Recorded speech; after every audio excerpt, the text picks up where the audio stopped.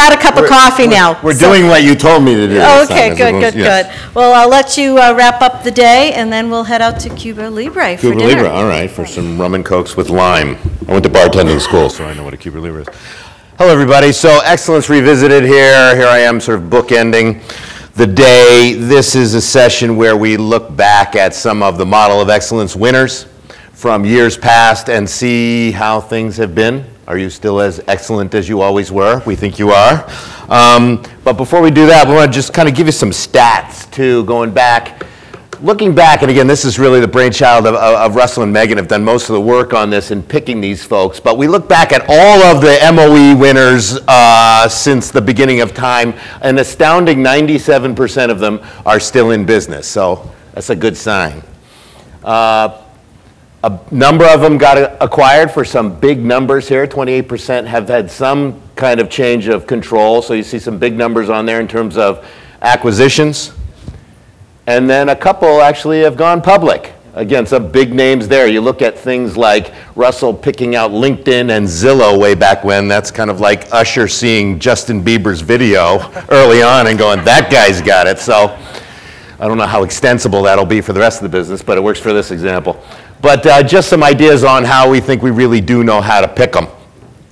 So today the panel, we can go back to that other slide if you want.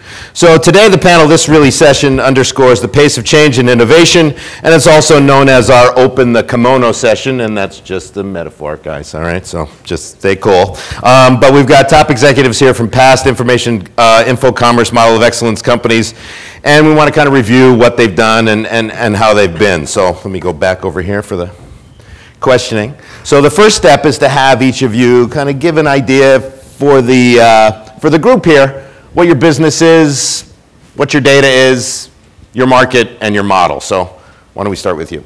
Sure. I'm, sorry. um, I'm sorry, I didn't introduce everybody here. I'm sorry. So this is Mark Leher from Wand, Chris Golec from uh, Demandbase, and Mike Alfred from Brightscope. So yes, I'm, I'm Mark Leher. I'm the CEO at Wand. And I guess when I saw those slides, the first one I was really happy that we weren't in that 3%. and then the next one I was pretty disappointed that we weren't in the $25 million exit. But um, my company does taxonomies, and that's actually different than what we did when we were Model Excellence seven years ago. I think it was seven years ago when we were focused on doing a business-to-business directory platform. But one of the elements that we had developed to power that business directory platform was a very deep uh, product and service taxonomy. So over the years, we've pivoted and focused really on just providing taxonomies, that taxonomies and others that we've built, as well as related tools and services to help people organize unstructured information. And that might be um, unstructured text, it might be e-commerce information, it might be transactions, any number of different elements where we can bring taxonomy in. so who do you sell to? What's your, your marketplace? Um, that's a that's a good question. I think the the biggest, the broadest market that we're selling in right now is into Microsoft SharePoint. So that really does focus on the unstructured text. So the SharePoint 2010 was the first enterprise content management system that offered support for taxonomies in a meaningful way. So that was a big benefit for us, and that's opened up a, a huge number of, uh, you know, a giant lead flow of people who are interested in learning more about taxonomies. And then beyond that, it's um, we're starting to do a lot of work in the e-commerce space. We just uh, this week released a beta of a product information management system built around our product and service taxonomy. And then from there, it's really opportunistic. And in, uh, I think a blessing and a curse of having a taxonomy business is that taxonomies can be used in so many different places. So opportunities come up, and we'll talk with customers and try to find if it's a fit for what we do or if it's not. Do, the, do you clean people's taxonomy? If somebody's got something existing today, a legacy taxonomy, do you go in there as a service and try and clean that up and reorganize it? We might. So one thing, one area we've done a lot of work is um, business listing publishers, specifically online yellow pages. And, and their challenge is they have their listing data, and it's anywhere from three to 6,000 YP category headings. And they don't really want to give that up, although that's changing a little bit. So what we do in that case is we will help map keywords to those heading systems so that they're, they keep their existing taxonomy, but it's more searchable. Someone types in sofa, it's going to take the user to a listing of furniture companies. So you link those two, or Right. kind of expand on that stuff. So we can either help you create a taxonomy or we can help do work to your existing taxonomy to make it a little bit more useful. Does anybody use your taxonomy in any kind of social listening devices and social listening systems? Um, because those things tend to be a mess, right? So I, I mean, I dealt with one of them. They were pitching me, and I just gave an example, and I said, "Well, I have an existing set of products that I want to import in here." And they said, "Oh, you just key it all in." I said, "Well, how do I know if I'm listening about Oreo that it's a cookie?" And she went through this big long thing and said, "You can look at the word cloud, and here's cookie." And I said, "But I already know it's a cookie." Right? I've got a Right. file that says Oreo's a cookie. Can I import in there? And it just this notion that of having an existing taxonomy to use to listen. Is that an opportunity? Have you been seeing any of that? Um, that, that's not a space that we've, we've done a lot of work in. We do have one, cus- one partner, I guess, who's um, integrated our sentiment taxonomy into a sentiment analysis. Okay, analysis. all right, so that's similar, engine. so that's Yeah, kind of the approach there. So you're doing something different today than you did when you won? Very different. Okay, Yeah. hold that thought. Chris, if you can take us through what, what Sure. you guys are doing? Yeah, that sounds a lot more difficult than what we're doing. um, yeah, so we have a targeting and personalization technology for the B2B sector. So we sell primarily to middle market to large enterprises. And the, the value that we deliver to customers is, is around helping them bring the right companies to their website through targeted advertising, personalization of that experience when those companies come, and then we tie that together with the sales activity. Um, and the value that's created there is all based on a data platform that we've built over the years and that maps network IP addresses to businesses worldwide. And we've built our own proprietary data to do that. Now, we didn't set out to build that exact business. Uh, I think back in 2008, um, that was still 100% on the, the category. Um, our business was more around generating leads for companies, and the model there was we were going to aggregate data from a, a variety of different sources, clean it, combine it, and then allow people to build custom, li- custom lists on demand. And uh, it kind of had this iTunes look and feel for, for more of a shopping experience. And in the process of doing that, um, we looked at how can we combine leads and lists and contact information with your website traffic. And in the process of doing that, we figured out it is really hard to identify companies on your website beyond the Fortune 1000 because most companies are hidden behind Comcast and Verizon. So we figured out how, to do that really well and make our product better. And then we realized, geez, if that data makes our product better, it would make advertising better, it would make websites better, it would make web analytics better. And we actually totally uh, exited the whole business contact business altogether, and we're 100% a technology business today. So you're completely different than when Completely you- different, yeah. bus- different business model, different customers, different engineers, different salespeople. So, big change. Same guy though, right? You're still And here. more, we needed more money. Okay, all right. Mike, are you doing the same thing? So our, our high, high-level premise is still more or less the same, but when I came here last, um, I didn't even realize we were an information business. So I was pleased to be invited back because I thought maybe you'd notice that I didn't know what I was talking about last Okay, no, you, you did a great job last time, so Thank we're you. good. So that was 2010. At the time, we said we were going to bring radical, dramatic transparency to the retirement plan market. And I think we have, to, for the most part. We went out to the Department of Labor. We got all the data about plans. We, we publish uh, 0 to 100 scores a la Morningstar, who's our role model. Um, and we drove a lot of change in the industry, um, not just with participant behavior, but also large plan sponsors that work with us to benchmark their retirement offering and make changes to it. Uh, financial advisors who use the data to benchmark and prospect. They're looking for uh, CFOs that don't know what they're doing. They have a terrible fund in large cap and fees are 2%. They don't even know it. Uh, and then large companies like BlackRock, PIMCO, Fidelity, T. Rowe, who believe it or not, these huge uh, mega asset manager, record keeper firms don't even know where their own sales are coming from in the retirement marketplace or in, in the case that we've expanded to uh, through sales through financial advisors. So they can't tell you which Morgan Stanley advisor in Houston's actually moving product for them.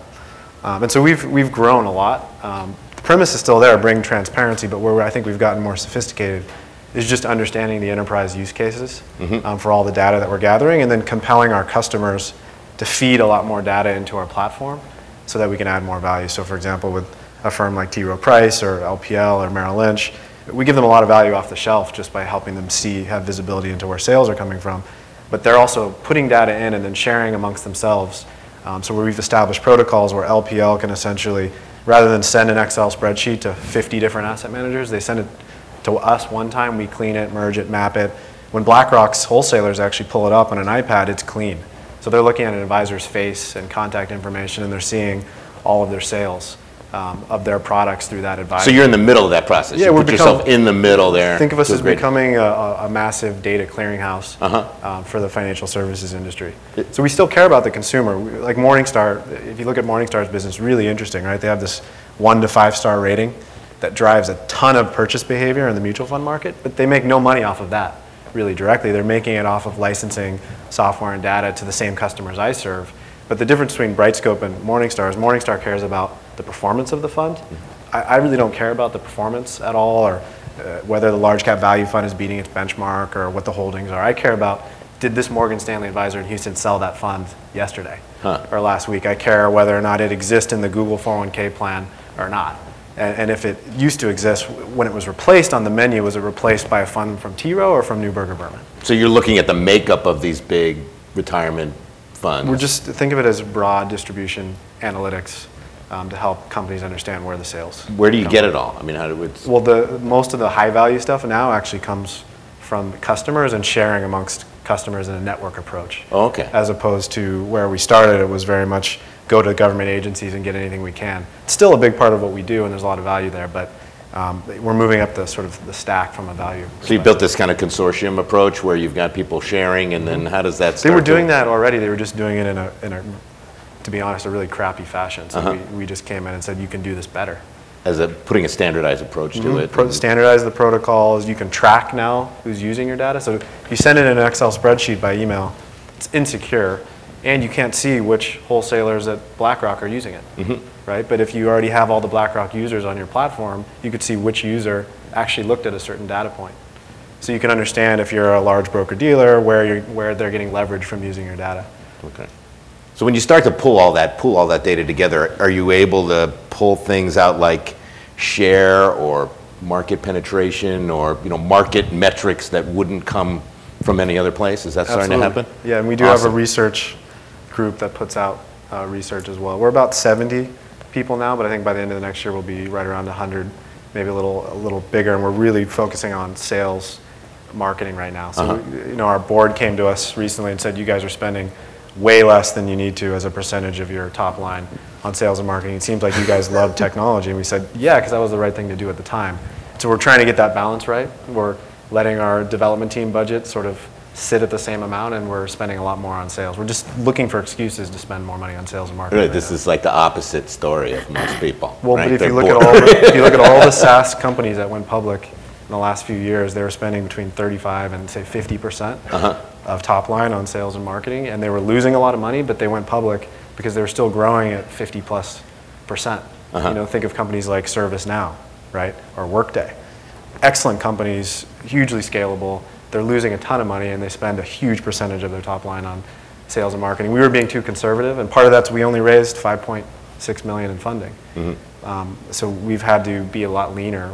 We look like a company that's raised more, but we've managed to do it out of cash flow over the last three years rather than raising a ton of money. Uh-huh. No, that's a great story. Again, have board members coming and saying you're not spending enough money is an unusual situation, I guess, there. I wish they'd pay us more, though. Well, they- okay, yeah, well, we'll take the money, right? Did you try that? So anyway, I'm just shifting back over to uh, um, Mark and Chris. So both of you have really done a pivot or a different view of, of the business opportunity from where you started. If you can kind of take us through, each of you, the thinking. What, you know, what happened? When did you really decide, okay, now it's time to, to, to make a big change?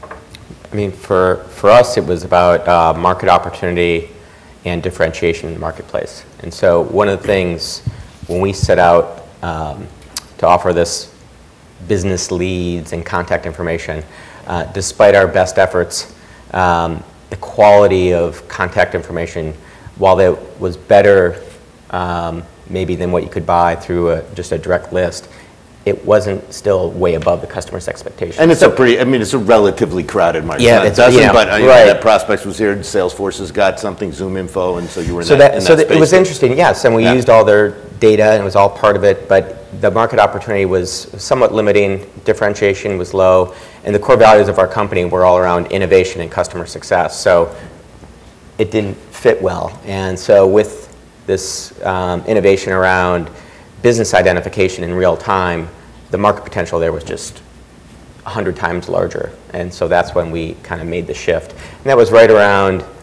you know, 2009, 2010. So a, a difficult time to be out raising financing. Yeah, as well. and, and making that big shift. From like That's an right. internal HR-ish perspective, how did that go over? I mean, were there people who just couldn't make that leap, or was it that different? Well, you know, it was very different Yeah. because you had salespeople that were more accustomed to doing transactional-based sales. Okay. Versus subscription, higher-end deals to larger companies. That's one.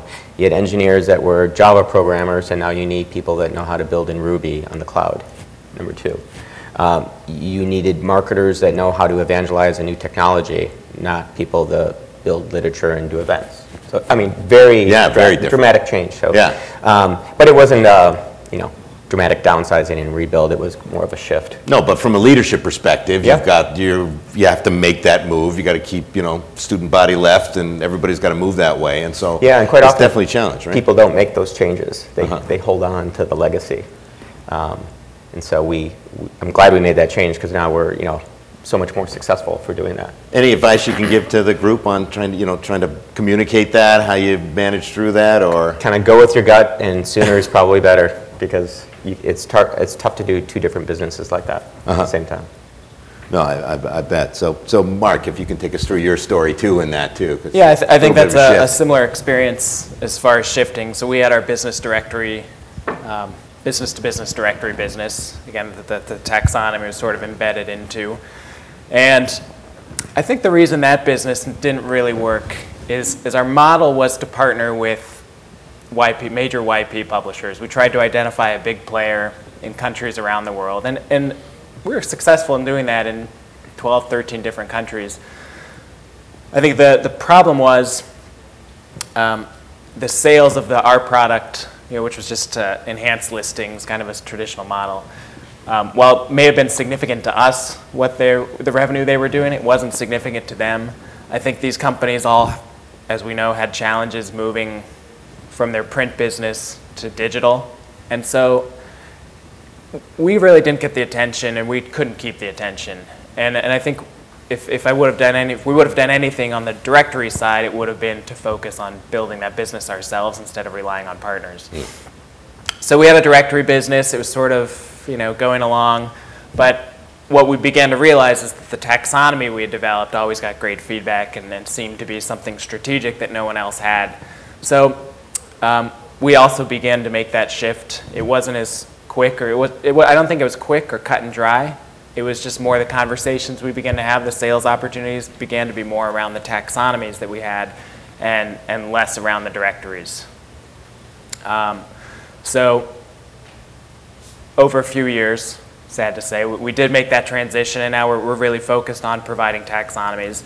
And, and I think we had a lot of the same challenges. Some of the people we had on the sales side, um, you know, selling a directory platform, or just the concept of directory platform and the idea of a business model around upgraded listings is very different than a sale where you're going in and understanding somebody's search needs and how you can help them organize information around a taxonomy and, and how a taxonomy is going to help solve that problem. Um, so we also had to make some human resources shifts, particularly on the sales side, but also on the engineering side, to get the really the right skill set in place to, to sell the product. Because um, unfortunately for me, taxonomy is it's a difficult product to sell, and you, you need to speak the customer's language and really be able to go in and understand what their challenges are and make recommendations. It's very different than the skill set you need to, to talk about a directory model. No, it's, I sell master data kind of infrastructure stuff too, and it's one of those, if you get the, the wrong kind of person, they don't even understand it's supposed to even exist. It's like, what is that? I just do that anyway. Or, you know, you've got to really dig into the bowels of the organization and the infrastructure to get your stuff embedded in there, and then, Right, and, and I think six years ago when we started to kind of make this shift, um, really people did not have the awareness of taxonomies that they do today. And I, I wouldn't say that awareness of taxonomies is great today, but it's much, much better. It's selling is much, much easier than it was five years ago. But then at that point, we're evangelists. Um, so you, you also need the right people to evangelize something. They really have to understand it and can sim- speak to it and keep it simple for somebody. And So that's, that's, that's where we've really shifted. Uh-huh. From a content perspective, you cover a lot of different areas, right? So how many, you know, just kind of give us an idea of the, of the topic areas you cover. Yeah, so I think another shift we had to do, we, we had this product and service taxonomy, we identified opportunities for that, but there was a lot of opportunities where people needed taxonomies that simply are not products and services. So J- Jeanette this morning talked about how IBM is focused on building taxonomies. Um, because 80% of the data is unstructured, but most of that is not really around products and services. It's like an oil and gas company, they care about accidents and fires and earthquakes and the type of crude oil. And, and um, so we began to develop out those other industry segments and also horizontal business areas. We've developed taxonomies for sales and marketing, human resources, IT, legal, accounting and finance. And then on the industry vertical side, um, just released nonprofit. We've done oil and gas, mining, banking, finance and investment. Probably 35 different subjects, and, and we're we have a, a few people working on new taxonomies on a regular basis. We probably release one a month. Yeah, how do you decide what to do next? What's your taxonomy of opportunities? That's uh, I'm in charge of that list. Um, you know, I, th- I think we've we have a lot of conversations with clients in the market, particularly in the SharePoint space. So one one strategy we did with SharePoint and Microsoft is we partnered with them and made a general taxonomy available as a free download. We've had about 7,000 companies download that. So you, you begin to get a sense of who's interested in taxonomies and what what industries are going to make the most sense to go to next. Mm-hmm. So that that's how we do the prioritization. So do you have a professional services kind of approach too? Or I mean, you go and Yeah, we do. So we have off-the-shelf taxonomies, but those are really just a starter set. So another sort of unfortunate reality is we're not going to generally be able to create something that's a perfect fit for our clients. So we do have a professional services team that can come in and help do taxonomy, customization, help do needs analysis, things of that nature's nature, and then either customize the foundation taxonomies we've created or help companies create them from scratch. are you really organized? You- uh, As I said this morning, you can, you you can, you can ask my here. wife that, and uh, you'll get your real answer. Okay. Um, You know, just from, in terms of the, the revenue split or just the business split too, um, uh, um, Chris and Mike, do you have a professional services versus data side of it? You know, how does that kind of split out, if at all? Well, for us, I mean, we've been almost 100% focused on building the subscription recurring revenue side, and we've been really lucky. All the revenue we've been losing this year has been non-recurring. Not, not, not uh, something we were really focused on, but I mean, it- it's. it's What was that stuff? Was that Well, it was just, stuff. know, ad we- hoc or reports It was or? stuff that you do in order to get a customer kind of onto your product. Oh, okay. We're not trying to, to, to be a consulting firm or a services firm or anything like that, but sometimes in order to sign a big customer, you end up doing a little bit of custom work, which I Mm-hmm. guess is fairly standard. Um, I'll look back on this five years from now and wonder if what I said was dumb, but um, at, at, right now, that, that type of revenue is lucky for us going away, and it seems like we're getting more folks just coming and saying, we want exactly what BlackRock has or exactly what T Rowe has. No, it's the beauty of that part of the And- syndicated data business of if you can build Yeah, that. and then maybe that's the part of the curve we're on right now, Uh-huh. but right now, we're losing non-recurring uh, services and one-off type things and seem to be getting more people who want the off-the-shelf version, which is good. No, that's great, that's great. Chris, anything? Yeah, we have probably a little bit less than 10% uh, of strategic services to clients, but we do it for the dollar of recurring revenue, which we know is worth $5. Okay, so same five kind of thing as It's- a, it's you know, not a loss leader, but a way to just, you know, fill that gap between, you know, that gets you to yes. That's right. So, so that works. So anything, just in thoughts before I open it up to the group here, you know, if you had to start your business, could you do your business today, start it today the way you would have started it years ago? What would be some of the changes you would make? How would you do it differently? God, I don't know. Anybody? Yeah, for us, Yeah, so go ahead. I'll jump on on that one. So I had a company back in 1998. It was a data and software company. It was supply chain software. Not, not sexy at all. But we had this combination data directory with our own taxonomy and supply chain software. When we tried to get investors to invest, uh, all the Silicon Valley firms would say, data companies don't do software well, software companies don't do data well, no thanks. And you fast forward now, 14 years, is it 14 years? Um, and everything is, do you have big data? Like, I don't even think they know what big data is. They Yeah, just want to well, make sure it's it's in the it's still open for some discussion. It, it does create a lot more value and retention and um, stickiness for customers. And so the investor's appetite for these businesses that have the combination of technology and, and software and data all together is so much higher than Huh. one on their own. So No, that's an dramatically different. dynamic. Yeah, yeah. So they're they, they're looking for those different elements together rather than before where they had kind of this prejudice that it couldn't work if you had all three. Exactly. Oh, a very interesting, different environment for sure. What do you think, Mark? Um, So if I were to start my company today, what would I do different? Yeah. Uh, I, that, that's a tricky challenge because over the last, or a tricky question for me, over the last six years, we've learned so much about really how to sell taxonomies and how to talk about taxonomies to people um, that we wouldn't have starting it today. I th- but I think today the timing is so much better as far as receptivity around using taxonomies. And again, I, that 80% of the unstructured information inside the enterprise that people want to get at, that's really valuable information.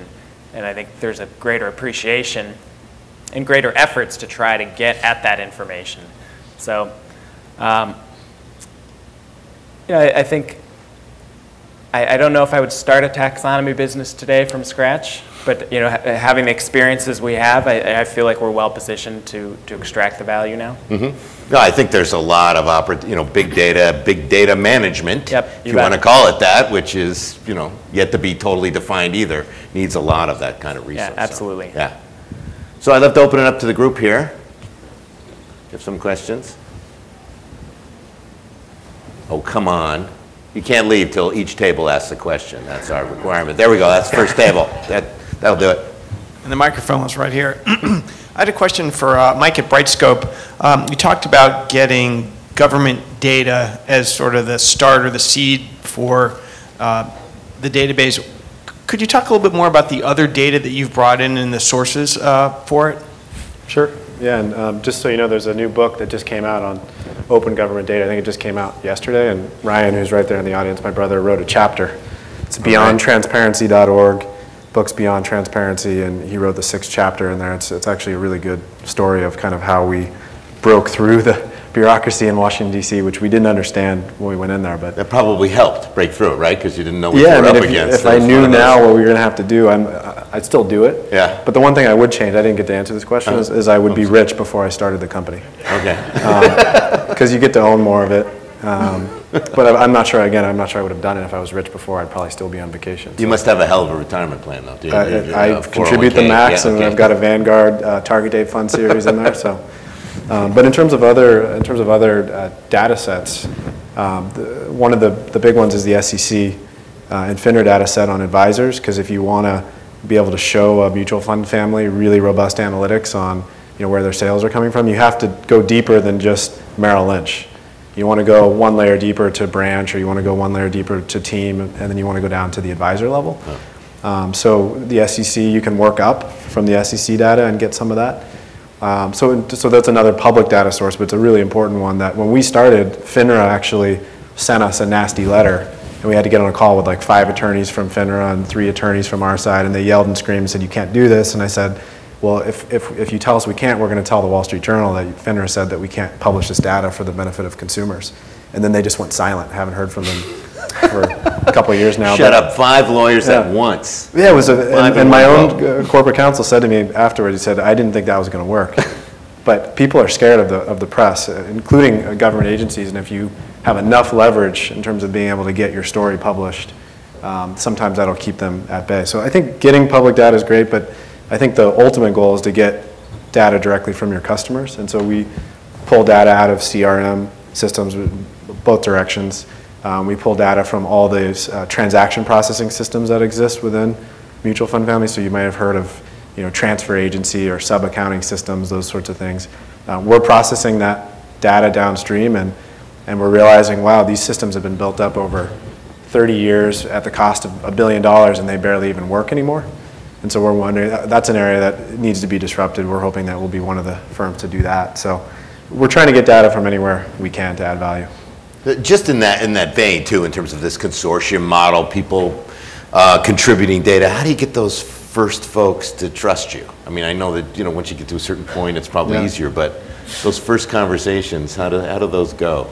Well, there's a couple things. One is you have to be around. In financial services, you can't just show up and raise $30 million from Silicon Valley VCs and, and show up. No one will buy anything. Okay, And I you were was- seeing right. that. There's a few other firms that have done that, and they can't seem to get any traction because you have to be in this market for at least five years before anyone really takes you seriously. Right. Like some of the firms, like the CEO of Morningstar, like we love them. We've been quoted in the press 800 times saying they're our role model. He wouldn't take the call or have a meeting for about five years. Right? CEOs of a bunch of the asset managers won't talk to you until they've seen you around. You have to be quoted in the journal like 10 or 15 times, and then eventually their secretary, one of their three secretaries, will reach out to schedule lunch.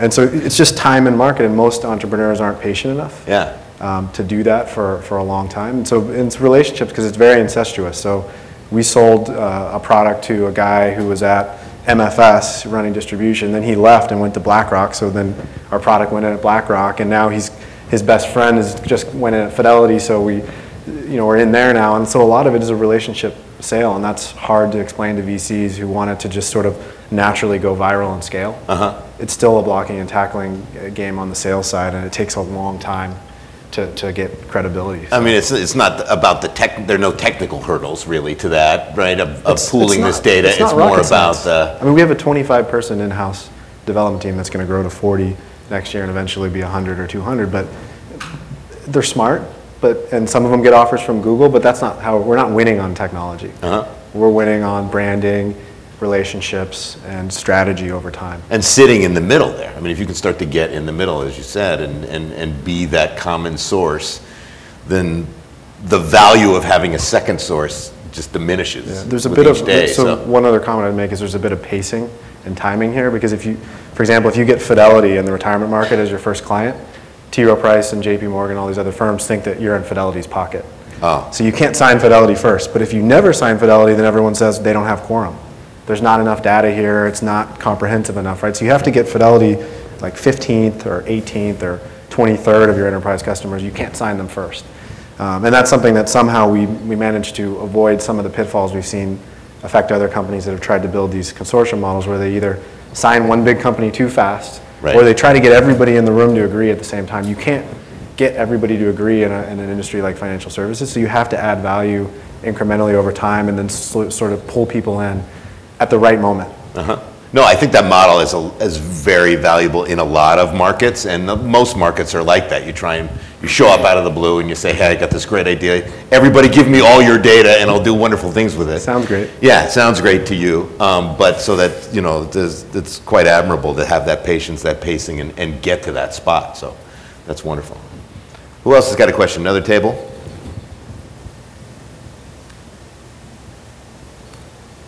This is the quietest this group has ever been. It's dinner time, It's dinner time. drink time, sorry. So let me let me just kind of do one more round here across here. Just just basic lessons learned in starting the business, doing the pivot. You know the kinds of things that you've you've you've uh, uh, done. If you want to just share with the group some of the top thoughts you've got on on how you've made your business go.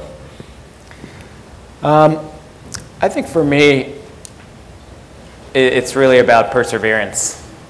Know, and and I've read a lot. A lot of times, a company starts and you don't end up doing what you initially planned to do, and and that does speak to perseverance and not giving up and trying to. You know, you just really want to be successful, and whatever it is, you're going to find out what the, you the you've identify the value you've created within your company and try to exploit that, and be willing to make mistakes and admit you're wrong, and then and make changes. And, and um, I think the, the strategy should really reflect where your company is today and what you can do going forward to maximize that. You don't want to throw good money after bad. Chris, any thoughts? Yeah, no, that's a good one. I, I think perseverance is dead on, um, and, and passion around making your company successful, uh, despite, you know, if your first idea wasn't the best one, you got to be able to let go of it and, and, and kind of go after the big opportunity. But I think with that, if you can maintain kind of core values in the business for how you interview employees to how you build your products, I think that becomes really important as well. Mike, any parting thoughts? Here? I'm always concerned about saying anything on a topic like this because you're always going to sound so, somewhat trite. But um, for us, it's never stop changing the product because if you get too comfortable with the revenue that's coming from a product that starts to get sort of stable, you're at risk of sort of topping out. Seen a lot of software companies hit five or 10 or even 25 million and then they just stop growing. Um, and so we're really, really focused on not letting that happen to us. We don't Uh. want to get stuck at 10 or 15 or whatever and then, and then never grow because our ambitions are bigger than that. So, so every time we think we're getting comfortable, we change it and we roll out something different that's a little bit bigger, hopefully. Uh-huh. So. Well, wonderful. Well, thank you, gentlemen. Excellent, all three of you, and I appreciate your thoughts and insights, and so the group here. Thank you. Thank you very much. Thank you. Well, great, thank you, and I'd like to thank all of our panelists, Russell and all of you, for a wonderful first day of, uh, well, second day technically, of of data content. So thank you very much.